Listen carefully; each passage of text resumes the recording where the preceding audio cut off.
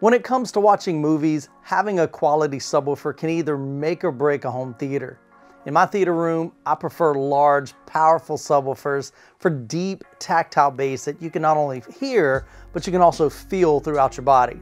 Today, I'm excited to share with you my review of a beast of a subwoofer, the 150 pound 13 inch subwoofer from Monolith. The Monolith 13 provides impressive tactile output that extends down to 10 hertz in my room. Overall, I have a lot of great things to say about it, but it does have one issue which I'll share with you near the end of the video. So be sure to stick around to the end to find out. Now before I jump into the full review, here's a word from today's sponsor, Skillshare. Skillshare is an incredible online learning community with tens of thousands of classes for creators, business professionals, and people that are looking to learn new skills. They have classes on creative writing, film and video, graphic design, music, photography, website development, as well as entrepreneurship, leadership, and management and marketing. Now, I've been using Skillshare for a few months now, and I'm currently going through a course with Thomas Frank called Real Productivity How to Build Habits That Last. The lesson on perfect is the enemy of good was spot on. In it, he shares that by making many, many, many imperfect things, each time you learn something new. It reminds me of a quote done is better than perfect. Every Skillshare class allows you to go at your own pace according to the available time that you have. I rarely have the time to sit down and go through an entire class, so having the flexibility to do a few lessons and then resume another day is perfect for my busy schedule. Most classes are under 60 minutes with short lessons to fit any schedule. Skillshare is offering to the first 1,000 of my subscribers that click on the link in the description one month free trial of Skillshare. Now, if you want to expand your knowledge and level up your skills, sign up for your free trial below. When Monoprice asked me if they could send me their 13 inch subwoofer, I honestly had no idea that it was going to be 150 pounds, or I probably would have said no.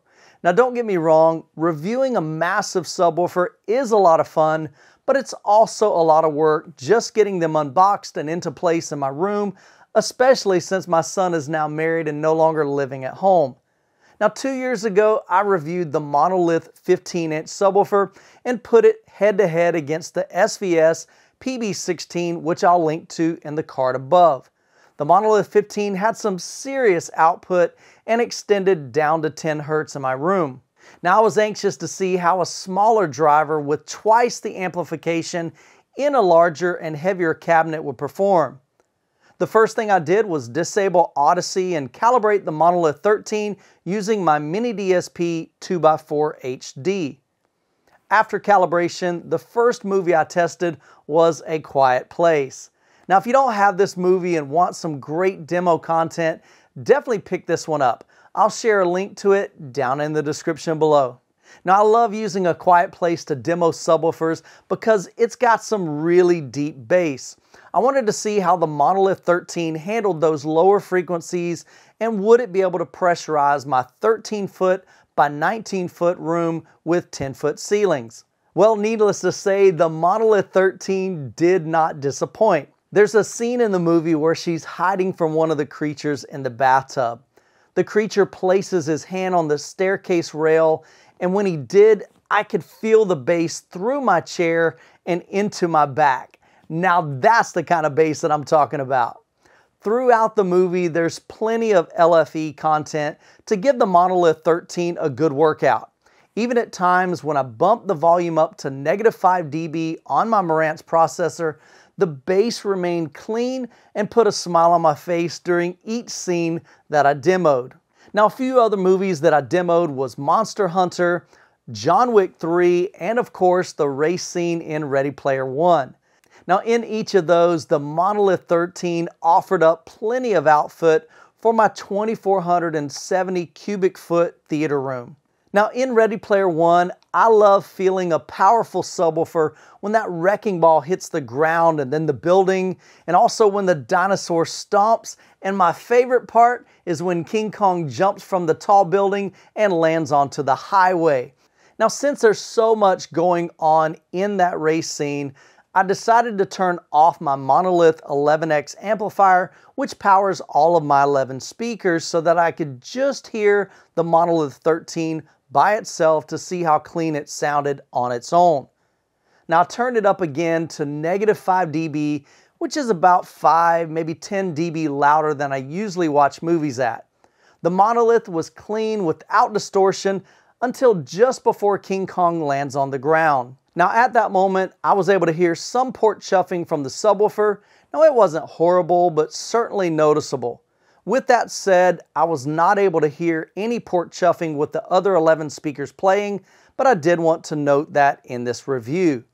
Now, I was equally impressed with my go-to music demos from Hans Zimmer live at Prague and The Greatest Showman. At the beginning of The Greatest Showman, the Monolith 13 reminded me of its presence with each and every foot stomp. The bass was impactful, yet very controlled. Now before we look at some of the measurements of how the Monolith 13 performs, if you enjoyed this video, I'd greatly appreciate it if you'd take a moment to like, subscribe, and hit the bell to be notified of future videos. Now keep in mind the measurements I'm about to show you are in my room. Your measurements are going to vary depending on the acoustics of your room. But this will give you an idea of how it performs in a real world environment. So let's jump into REW and I'll show you how the sub measures and also how it performs in various tuning modes. So here we are in REW, which is Room EQ Wizard. Room EQ Wizard, if you're not familiar with it, just allows us to take some measurements of a speaker, or in this case, a subwoofer, using a calibrated microphone. And in my case, I'm using a Mini DSP UMIK 1 microphone.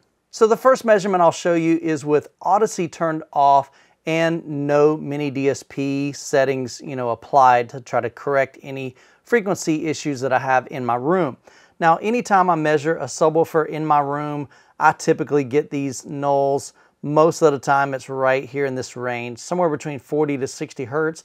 I've moved the subwoofer all around my room and I still get that pretty much no matter where I put it, but I'm limited in the floor space that I have available. So in most cases, you just have to work with what you have. So the next one I'm going to show you is using the mini DSP, I applied a house curve and we did some uh, EQ adjustments. And so here you can see it pulled down all of these peaks right here, pulled down that peak there, pulled down that peak. You really can't do much with nulls. So if there's a lack of bass, you're just going to have a lack of bass. That's not um, a reflection of any subwoofer. It just happens to be how the subwoofers um, interact with my room. So I'll go ahead and turn off the initial. So that's with the house curve. So that's about as good as I can get uh, with the subwoofer in this location in my room.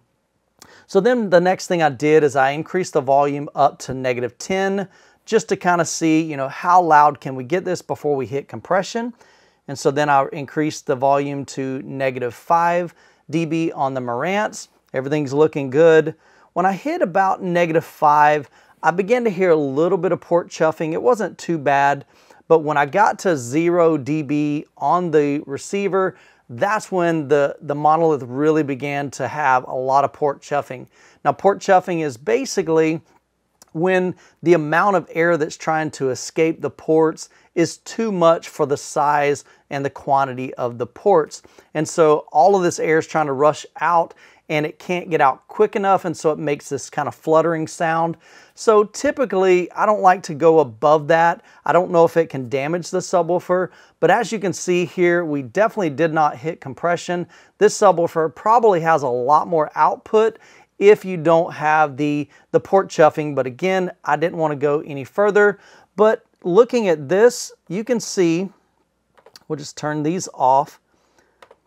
So at 0 dB, which is reference, you can see right here, this has a really good frequency response all the way down to, look at this guys, 10 hertz.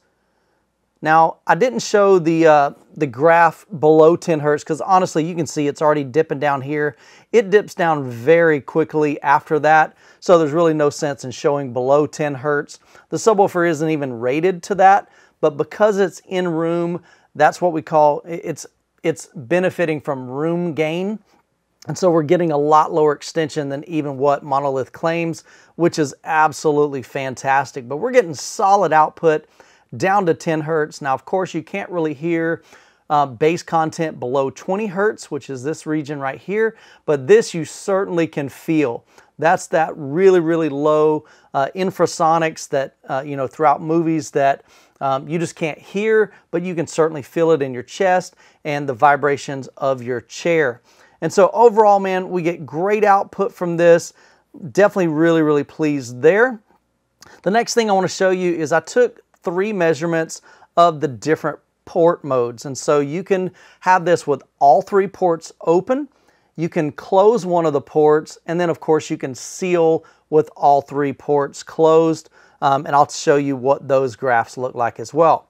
So in what they call extended mode, on the back of the amp, there's a toggle switch. One is for extended, the other one is called THX, and I'll explain when you use the THX in just a moment.